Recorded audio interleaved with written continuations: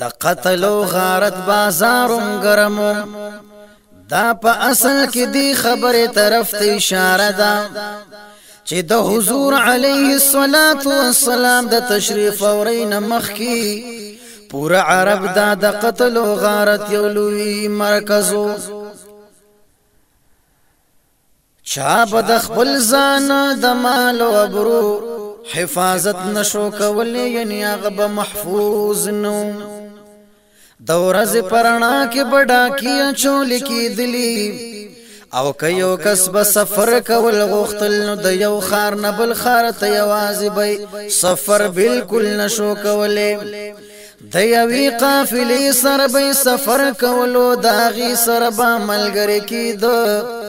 زکه چې هر وخت به ویره و چې پلار باندې غل حمله ونکي د دوی ځانونو ته به هم خطر و او د دوی مالونو ته بم خطر وا او د عرب د قبیلو حال دا او چې د دوی په مینس کې با مسلسل جګړې شروع وي یو قبیله د بل قبیله د قبیلو دارو دشمنو او بل قبیله والا بدا بل قبیله والا دشمنانو د یو بل د وینو تګي بو لہذا کد خپل دشمنی قبیله یو کس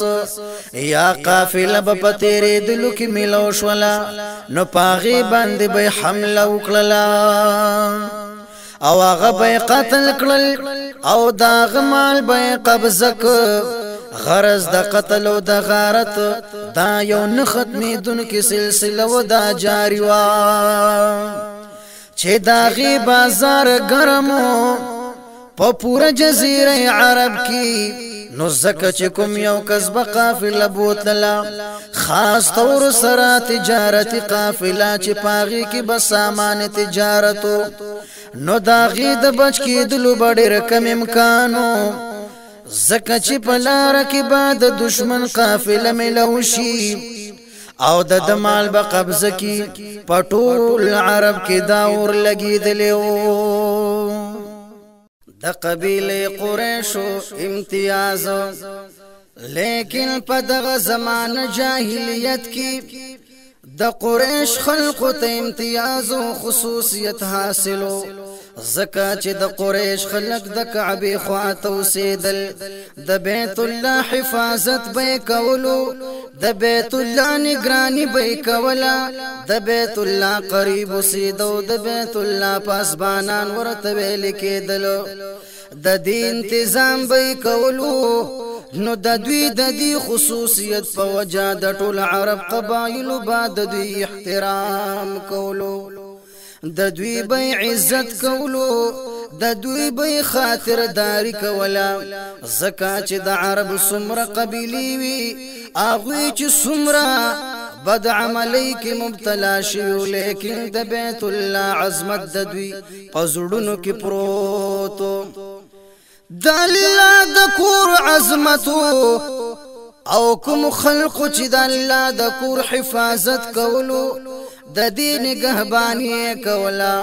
نو د دوی تعظیم هم د دوی پزړونو کې پیوستو لہذا کد قریش د خلقو قافله بچرته هم تلا نو هغه به نچیړلا کد کوم قبیلی خواته بتیریدل او کد کوم کلی خواته تیریدل اگر ک دشمنی به ورسره وا نو زکه چون کی د قریش خلق دی زکه چې د بیت الله معاون دی د بیت الله پاسبانانو نو پدی وجه د بد نه بد دشمن به هم د دوی په قافله باندې حمله نکولا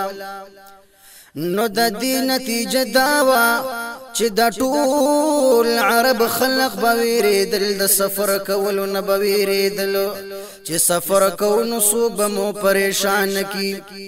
لیکن کدا قریش خلق با چې کله د قافلې سره سفر کولو نو بي ویری به کولو هیڅ خطر بنوا په امن او امان سره بدللو او په امن او امان سره براتل لہذا قریش په مکه مکرمه کې آباد دمکی علاقه بی آبو گیا تاسو تب معلوم وی چې د مکی مکرمه کوم علاقه د دلته نسب پټشته دی او نسر شنو نشته دی او نسب اخته دی حضرت ابراهیم علیه الصلاۃ والسلام فرمایلیو اے پروردګارا زخپل اولاد په یو داسې ځکه پرېګ دما چې هلته یې سپټیم نشته د استاد حرمت والا کور سره دا د الله تعالی د قدرت عظیمه نخدا چې الله رب ذل جلال دا علاقه بالکل او چو ساتلا ندل تسشنو نا نباغ نه یو داسې نزار د قتل په اعتبار سره نو خوب صورت منظر که یو خسته منظر وی کدا علاقه شنوي نو خلق بعد دي قتلو د پار بیا سفر کولو لیکن نوب نشنو نواخشت دي د سنگلاخ کانو غور ندی او پدې کې د مک آباد دا او هم پدې کې د دلا کور دی د دې باوجود ټولې دنیا حسین سری علاقې وګورئ او د بیت الله دی زیت وګورئ د هر مسلمان در صاحب ایمان پزړه کی د دې بیت الله کشش سمر زیات دی چې د ټولي دنیا حسین ترين علاقه د دې په مخ کې هیڅ دی حضرت ابراهيم عليه السلام دعا فرمایلی وا چې الله داسې جوړه کا چې د خلق زړونه د دې طرف ته راخل کیږي اوس وګورئ څنګه راخل شوی دی څنګه خلق جوق در جوق د دنیا د هر علاقې نه د بیت الله طرف ته رجوع کوي